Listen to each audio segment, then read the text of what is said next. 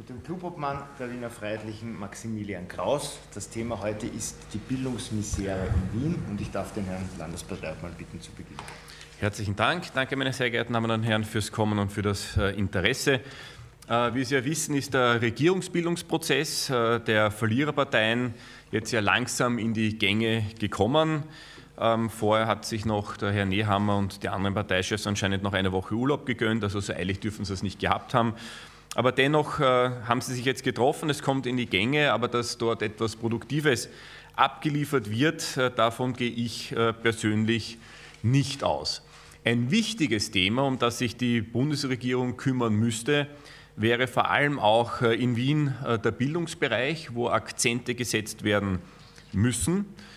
Der Bildungsbereich bedeutet schließlich auch äh, der Bereich, der die Zukunft unserer Kinder betrifft und auch dann auch maßgeblich die Zukunft beeinflusst.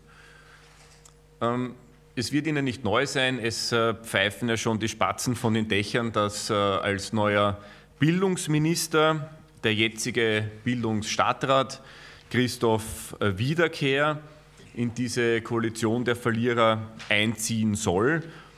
Und das ist auch notwendig, gleich von Anfang an auch äh, eine Bilanz zu ziehen und äh, über seine Leistungen der letzten Jahre hier in Wien. Und man kann das auch in einem Satz zusammenfassen, nämlich dass es derart verheerende Zustände in den Wiener Kindergärten aber auch im Wiener Pflichtschulbereich es in Wien noch nie gegeben hat. Und ich kann Ihnen da auch ein paar Beispiele kurz nennen. Der Klubobmann Maximilian Kraus wird da noch tiefer darauf eingehen.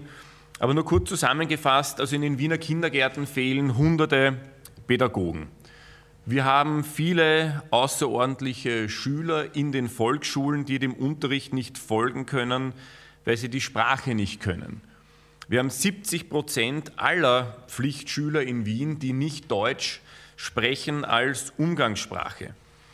Wir müssen wieder Containerklassen aufstellen auf Sportplätzen mit der Folge, dass die Kinder nicht mehr ausreichend Sport betreiben können, weil eben die Möglichkeit des Sportplatzes weggefallen ist.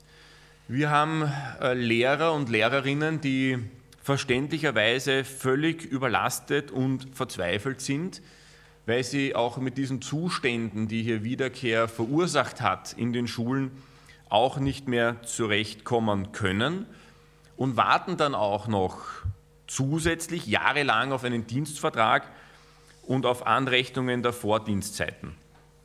In den Wiener Volksschulen, aktuelle Zahlen, gibt es 15 Prozent der Volksschüler, die als außerordentlich geführt werden.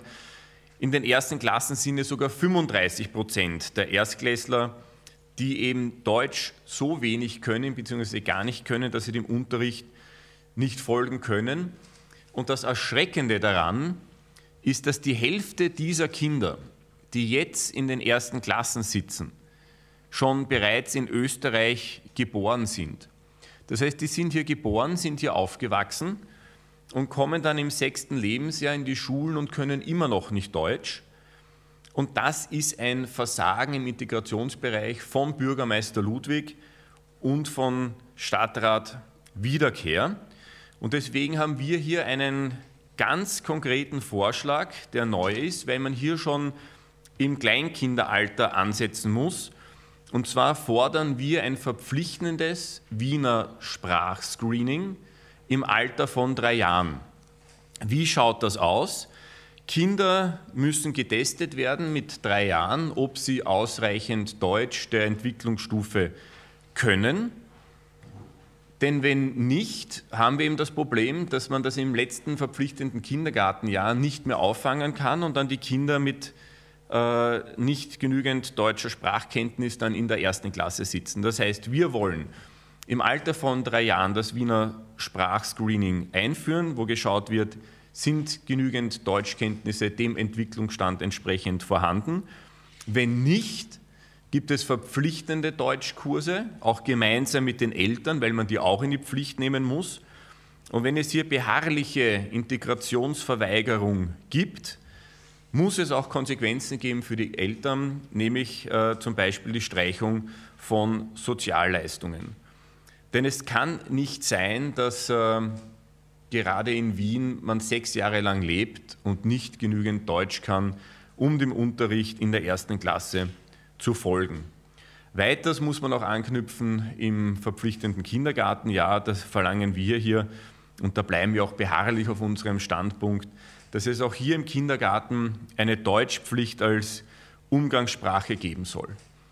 Das, was jetzt herangebildet wird durch äh, Bürgermeister Ludwig und durch Stadtrat Wiederkehr, äh, wenn wir da nicht aufpassen, kommt es zu einer verlorenen Generation, die nicht fähig sind, sich über äh, die Zeit hinweg, dann auch nach der Pflichtschule, sich ausreichend zu verständigen, geschweige denn einen Arbeitsplatz zu finden.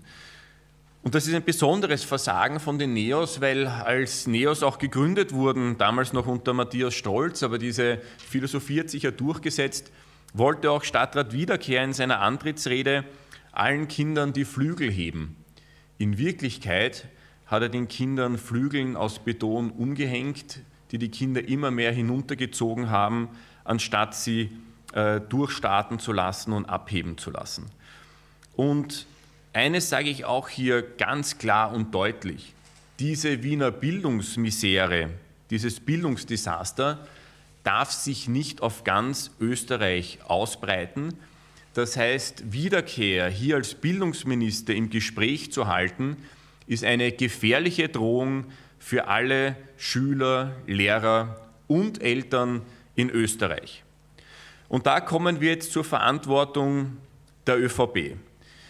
Die ÖVP Wien hat damals noch mit Karl Mahrer und Klubobmann Wölbitsch am 27.01.2023 einen Misstrauensantrag gegen Christoph Wiederkehr eingebracht und haben ihm dort systematisches Versagen in allen Bereichen vorgeworfen. Ich habe mir das Protokoll der Reden rausgesucht und wörtlich hat Karl Mahrer gesagt, ähm, er, also Wiederkehr, sollte dringend Konsequenzen aus seiner offensichtlichen Überforderung mit seinem Amt ziehen. Die Wienerinnen und Wiener verdienen sich eine verantwortungsvolle Führung dieses für die Zukunft der Stadt so wichtigen Ressorts. Und in diesem Satz gebe ich Karl Mahrer recht. Es ist wichtig für die Stadt, dass in diesem Ressort endlich eine fähige Person dann dort auch herrscht. Aber umso mehr verstehe ich jetzt nicht, warum die ÖVP Wien und Karl Mahrer hier kein Veto einlegen, dass Christoph Wiederkehr eben nicht Bildungsminister werden kann.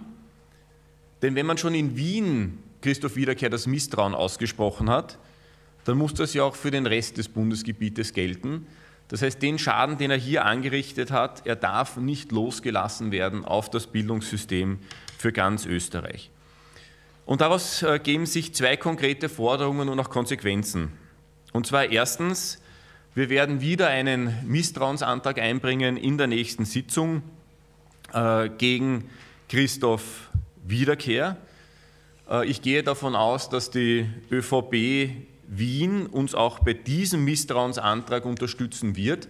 Denn die Situation vom damaligen Misstrauensantrag 2023 hat sich zum jetzigen Misstrauensantrag ja nicht geändert. Im Gegenteil, es hat sich auch noch verschlechtert. Und ich fordere ÖVP-Obmann Karl Mahrer auf, innerhalb der nächsten 24 Stunden Klartext zu reden, dass er einer Koalitionsvereinbarung auf Bundesebene nicht zustimmen wird, die einen Bildungsminister Christoph Wiederkehr vorsieht. Denn es kann ja eben, wie eingangs auch erwähnt, nicht sein, dass Karl Mahrer in seinen Gremien einem Bildungsminister Wiederkehr zustimmt, den er bereits vor über einem Jahr in Wien als Stadtrat das Misstrauen ausgesprochen hat. Das heißt, diese zwei Punkte wären zur Nagelprobe der ÖVP. Wir werden auch den Antrag auf dieses Wiener äh, Sprachscreening stellen in der nächsten Gemeinderatssitzung, wo wir dann auch sehen werden, ob Bürgermeister Ludwig die Zukunft der Kinder in unserer Stadt auch etwas ihm am Herzen liegt oder nicht. Und wir werden ganz genau beobachten, ob er diesem Antrag zustimmt, um die Kinder wieder bildungsfit zu machen für die nächsten Jahre und Jahrzehnte. Und darf jetzt weiter für weitere Ausführungen unseren Clubobmann Maximilian Kraus übergeben. Ja, meine sehr geehrten Damen und Herren, Christoph Wiederkehr hat nach zehn Jahren rot-grüner Bildungspolitik in Wien ein Pleiten-, Pech- und Pannenressort übernommen, in dem man eigentlich die Dinge nur besser hätte machen können und besser hätte machen müssen. Tatsächlich haben die Neos in Wien mit Stadtrat Wiederkehr jedoch dafür gesorgt, dass sich die Situation im Bildungsbereich weiter dramatisch verschärft hat und sich das ohnehin schwache Niveau an den Wiener Schulen noch weiter nach unten begeben hat. Und als er vor vier Jahren, 2020, sein Ressort angetreten hat, hat er viele Versprechungen gegeben und alles hat damals auch damit begonnen, dass er zur damaligen Corona-Zeit gesagt hat, mit ihm als Bildungsstadtrat werden die Wiener Schulen geöffnet bleiben, werden die Wiener Kinder in Wien nicht eingesperrt werden.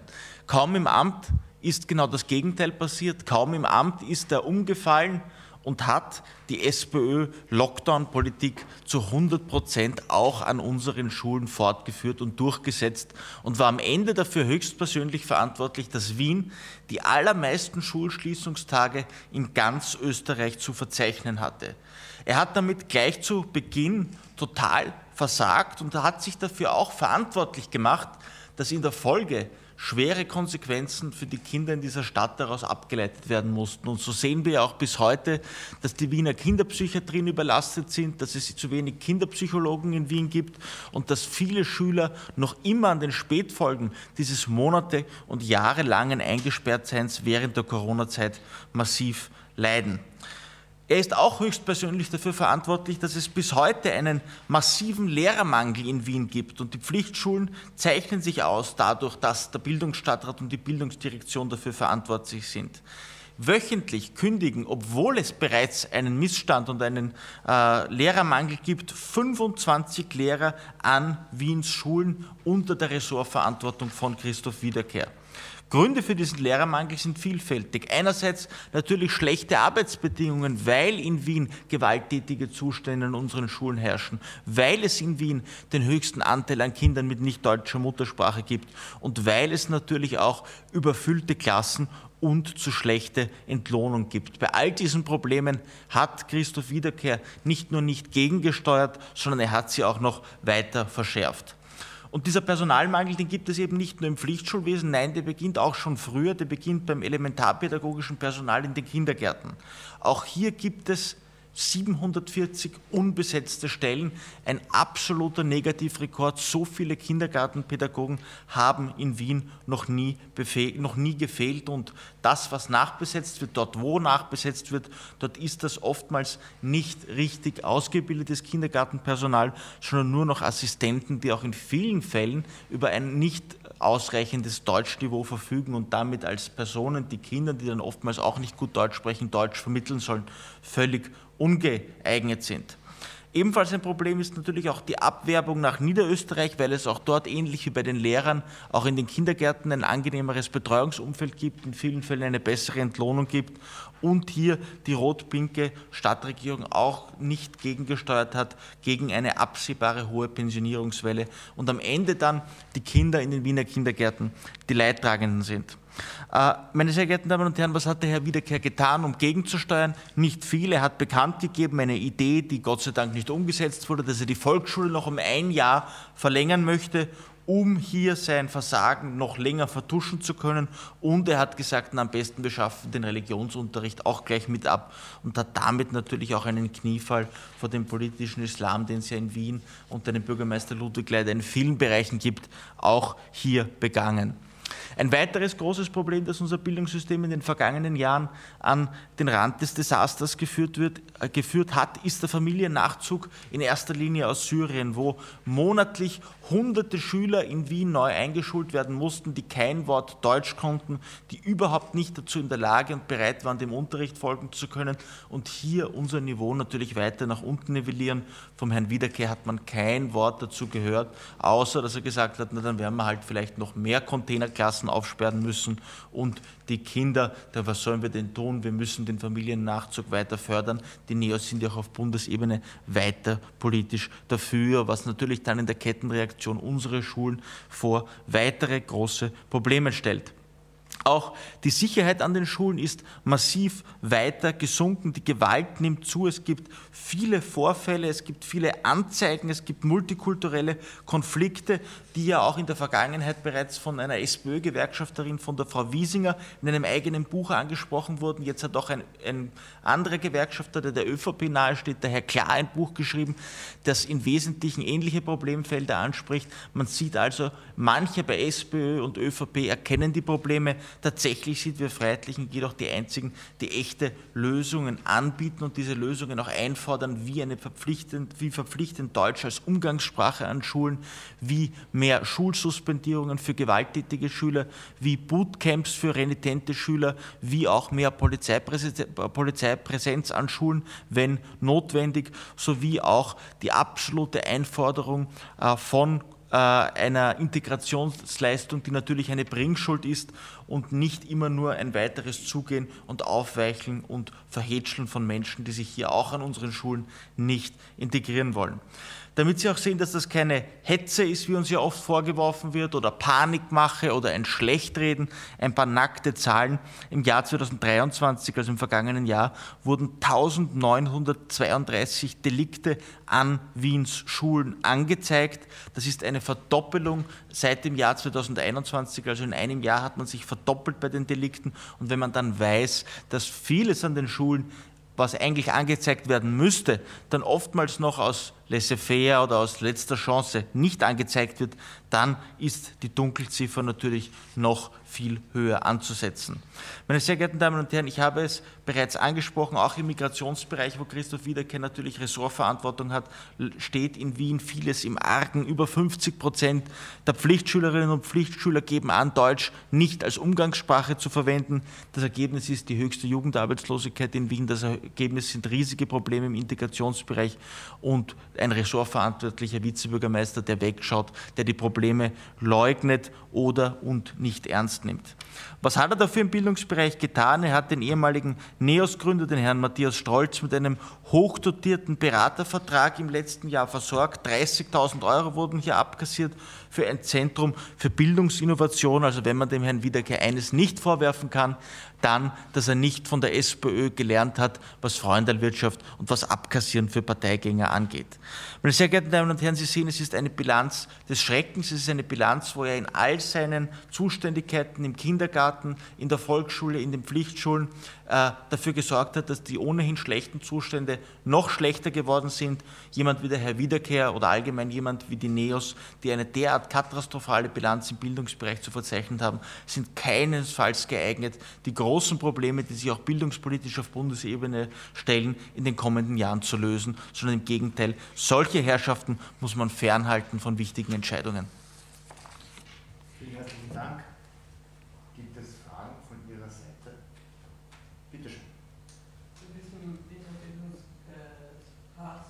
Ja.